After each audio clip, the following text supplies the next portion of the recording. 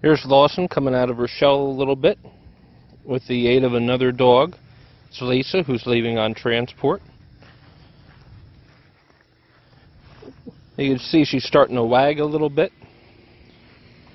So a lot of progress in less than 24 hours.